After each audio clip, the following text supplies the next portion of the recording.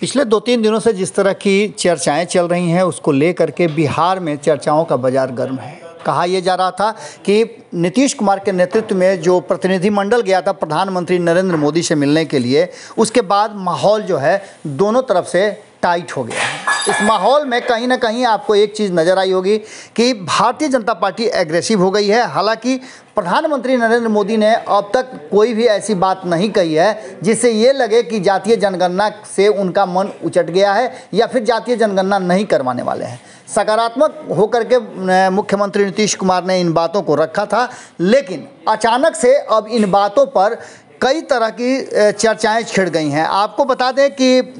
जनक राम जो कि उस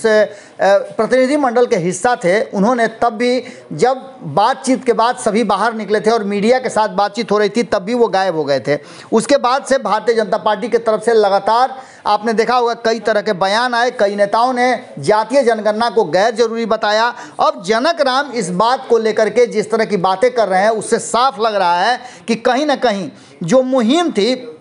नीतीश कुमार और तेजस्वी यादव की, जिसको लेकर के तेजस्वी यादव को आगे बढ़ाते हुए मुख्यमंत्री नीतीश कुमार ने कहा था कि तेजस्वी की ये मुहिम है, जिसके पीछे साथ साथ हम चल रहे हैं और जातीय जनगणना बिहार जैसे राज्यों और इस देश के लिए बहुत ज़रूरी है। हमने जब कल जगदानंद सिंह से भी बात किया तो उन्होंने साफ़ तौर पर ये बताया था कि जातीय जनगणना इसलिए ज़रूरी है कि हमें सही डाटा पता चल जाएगा कि किस जाति में कितने संख्या के लोग हैं जो गरीब है और किस स्तर पर उनका जीवन बसर हो रहा है। इन सारी बातों को लेकर के अब जनक राम के बयान से साफ़ नज़र आ रहा है कि कहीं ना कहीं भारतीय जनता पार्टी के मन में किसी न किसी तरह का संशय ज़रूर है। उन्होंने साफ़ तौर पर कहा है कि अंतिम निर्णय प्रधानमंत्री नरेंद्र मोदी का होगा। अब देखने वाली बात यह है कि इन सारी बातों के बीच में जो समस्याएँ हैं और जो बातें चल रही हैं, वो कितना ज़्यादा सटीक होती हैं और इसका असर होता है। देखते रहिए भारत लाइव और सुनिए क्या कुछ कहा है जनक राम ने आज सहयोग कार्यक्रम के दौरान जब उनसे पत्रकारों ने सवाल पूछा। पर बोला है जिन लोगों ने कर्पूरी ठाकुर की जय, प्रकाश नारायण जी का, लोहिया जी का, परम पूज्य Baba Saheb, doctor B R Ambedkar ji का, तमाम महापुरुषों का नाम ले ले करके, गरीब गुरबा की बातों करके, दिन दुखियों की बातों करके सत्ता में वो आते हैं और सत्ता में आने के बाद से उनकी जाति भूल जाती है। वो अपने परिवार में फंस जाते हैं, अपने परिवार और बेटा बेटी माई भतीजा और नाना मामा के चक्कर में पड़ जाते हैं। यह देश में और प्रदेश में विकास की एक गति मिली है। देश के सशी प्रधानमंत्री नरेंद्र मोदी जी के नेतृत्व में जाति गौन हो गया है, विकास सामने आया है और सर्व समाज के लोगों को विकास चाहिए। रोटी, कपड़ा, मकान चाहिए। तो रोटी, कपड़ा, मकान चाहिए और सबको सम्मान चाहिए तो रोटी, कपड़ा, मकान, सबको सम्मान नरेंद्र मोदी जी ने सुनिश्चित कर दिया। उसी रास्ते पर बिहार के सची मुख्यमंत्री जब बिहार के समस्त जनता ने बिहार का मुख्यमंत्री चुन करके भेजा,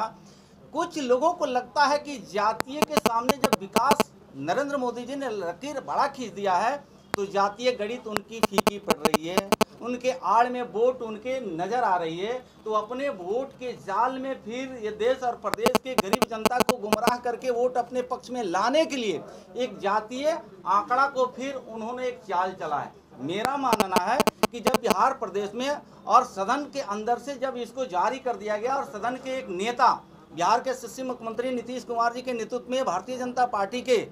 मुझे भी सदस्य के रूप में माननीय प्रधानमंत्री से मिलने का अवसर मिला। हम तो कुट से बधाई, धन्यवाद, आभार प्रकट करते हैं राज्य और केंद्रीय नेतृत्व को कि मैं एक अनुसूचित जाति चमार वर्ग में जन्म लेने के बाद भारतीय जनता पार्टी ने इतनी बड़ी दायित्व दिए इतनी बड़ी जिम्मेवारी दिया और प्रधानमंत्री के मिलने के बाद से मुझे आशा लगी है, जगी है कि बिहार के, देश के, समस्त समाज के लोगों को